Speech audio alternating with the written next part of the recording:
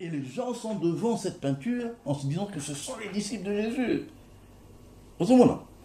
Ça ne correspond pas à la Ah vérité. oui. La vérité, la vraie, c'est que euh, avant que le christianisme ne soit, comment dirais-je, la religion euh, que nous connaissons aujourd'hui, Mhm. il s'est passé 300 ans. Jusqu'à la conversion de l'empereur Constantin, sa mère qui s'appelait Hélène, c'est elle qui a commencé ce qu'on appelle le tourisme euh, chrétien. Il est allé en Palestine pour essayer de reconnaître les lieux. Moi j'ai été en Israël, j'ai fait des recherches en Israël.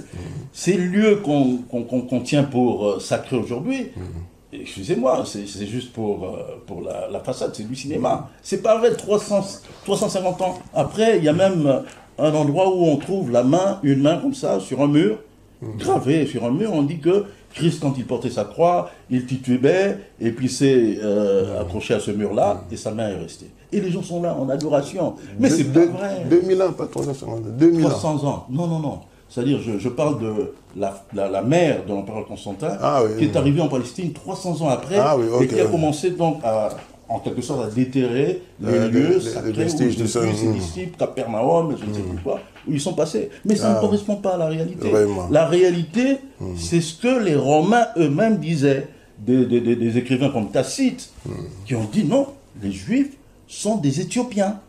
Pourquoi? À l'époque, le mot pour dire Afrique n'existait pas comme. Afrique, c'était Éthiops. Donc, on a ce qu'on rejoindre euh, livre et à Tedim Fit qui parlait aussi de ça. L'Afrique, avant, ça, ça- s'appelait. Éthiopie.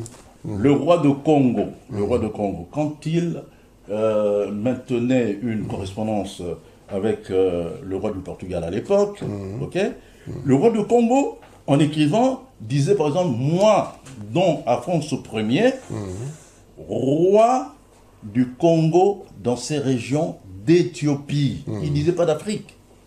Et l'océan, qui est connu aujourd'hui comme étant l'océan Atlantique, c'était en latin mare Aethiopicus.